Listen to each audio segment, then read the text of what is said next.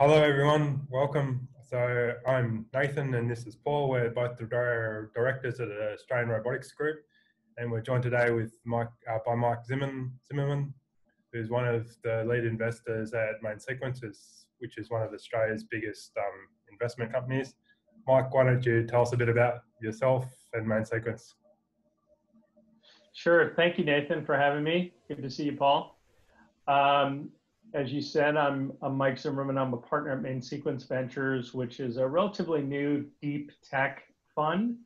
Uh, we were set up in partnership with CSIRO um, to help back and create companies that are global companies that are commercializing the best research out of Australia.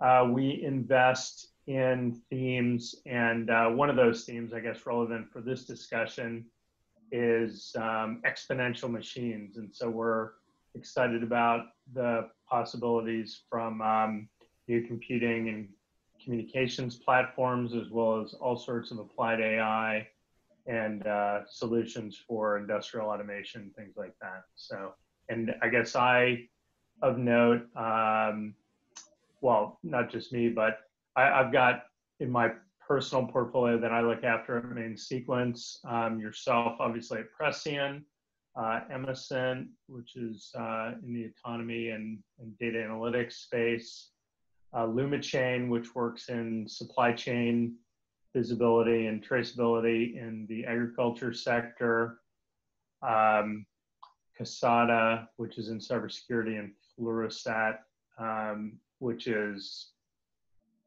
analytics uh, for both agronomy and sustainability in ag. But we also have investments in Myriota and uh, Myriota and Baraja. And so we've got other kind of various companies in sen- uh, advanced nav, which is doing advanced sensing and autonomy and things like that. Yeah, that's really cool. So there's um, some interesting names in there. How much would you rate uh, robotics as an investment priority for you guys? Um, well, for yeah, I'd say it's it's definitely a core theme, but um, or it's a core area. But I'd say it's if I look at robotics, it's it's it's more about the the industry and the type of solution, and robotics is kind of the enabling technology to get there. Sure. Um, and and also i would say that so we're not, we're not only interested in uh, i mean we're interested in these themes and robotic solutions that solve problems in these theme these various theme areas we have. But then we're also interested in the components of robotics. And so it could be that like advanced nav that's making a particular kind of advanced sensing solution or yourselves at Presien doing the computer vision side of things or you know, we're looking at some companies that are doing more um, the software side of robotics. So it's not just um, like robotics in the traditional things things of like a control, an automated or autonomous control system that can do X, Y, and Z, but it's actually we are interested in the enabling technologies as well. Yeah, so that's really interesting, right? Because um, coming from a technological point of view, it's very easy to get it you know obsessed or focused on one of the little niches. But it's very interesting to hear in the investment sides perhaps more focused on the application of the technology rather than just hmm. the name of the technology. I think that's yeah, I think that's really key because it could be that you're you have a very cool robot that is solving a problem nobody cares about, um, or you know is is basically not working in an industry that has a lot of spare cash to throw at new types of technology solutions because the the problem they're solving doesn't create much value or the industry is shrinking or what have you. And so i think it's really got to be a combination of the right technology applied at the right you know problem. Okay that's interesting. So this kind of leads into my next question anyway which is can you can you describe the best way for a, a robotics company out there to approach your firm, perhaps tell you the story? Yeah, um, can definitely just reach out to me if they want. So Mike at mseq uh, .vc or hit us up on on socials or come to our website and submit uh, something there. It's not, uh, you know, we don't have these huge walls up. So just, uh, but possibly the actually an even better way is to get a referral into us. Contact someone like yourself that actually knows what they're talking about, and uh, I'll wait for you to be the filter for opportunities that get sent my way. Hey, Mike, I think this is worth looking at. Like that goes a long way versus some somebody just email me, emailing me. Right. So create more work for Nathan. Good plan, Mike. uh, what kind of story would you be interested in hearing from those companies? Something perhaps leaning more towards what they actually do for uh, their customers.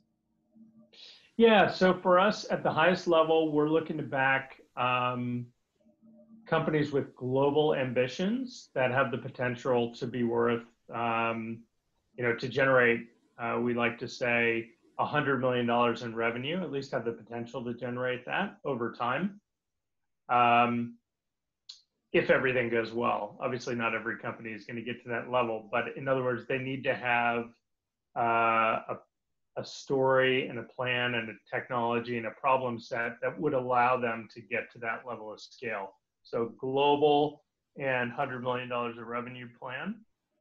And I think that's quite a good filter for a lot of things. If there's a company that just wants to be, you know, a niche company selling in Australia, New Zealand, that you know grows to to five million dollars in value, that could be a great business for the entrepreneur, but not necessarily a good fit for us. So, excellent.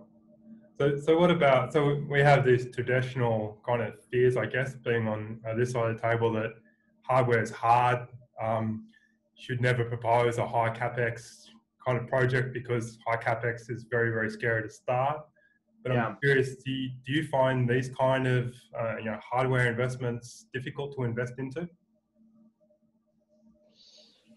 Um, well, I, th- I think it depends. I, I think they do have, um, you know, they do have a high bar against them. But again, it come back to the problem that you're solving and what kind of customer, you know, pain there is. So if I look at you guys as an example, um, you know, you have a hardware solution, but it's it's powered by very smart software. Your your hardware looks great, and it, you know, there's definitely been uh, a lot of investment and, and smarts put into it, but it's about your software. And more importantly than that, you're solving a problem that um, customers care about. And we can see as investors the pain that the customers have. And so, yeah, I was thinking about this before our call.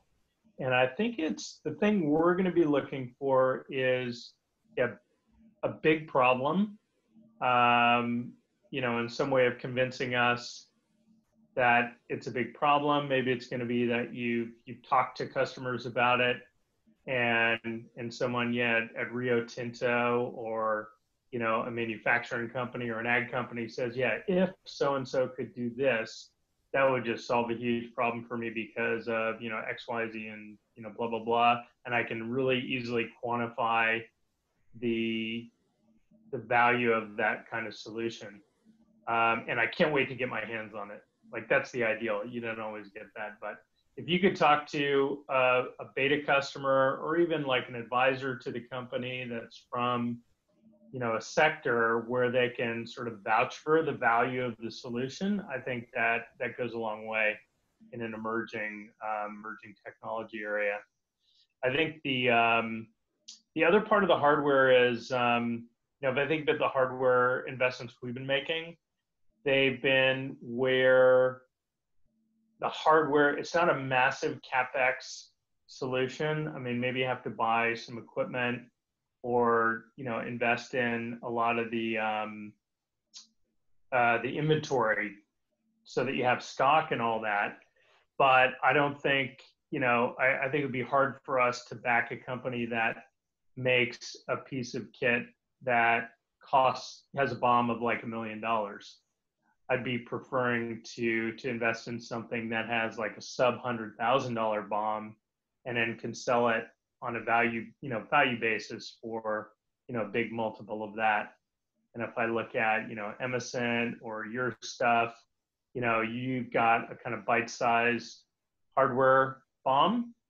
Um, that means you can get a lot of units out the door to a lot of different customers and um, start to grow your mat your your your market quickly as opposed to someone who's building something that costs a million dollars where geez it's probably going to take a long time to sell that piece of kit and um, you know i don't i don't know how many of those customers there are out there in the world yeah, it's very interesting, right? It's a, it's a big difference. And obviously, there are some robotic solutions that will cost a million dollars, but perhaps they're um, better directed somewhere else than the ventures. Yeah, I think it's a good.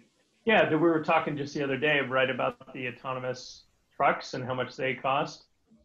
And so we probably are not going to be the investor in an autonomous trucking company, but maybe we'll invest in the company making the, you know, the autonomy systems or some of the key components, the the lidar, like a Baraja, you know, the lidar we have, um, something like that. So the, the, the tech component producers rather than integrators. Okay, Mike, so the million dollar question, how, how can we make Australian robotics more investable?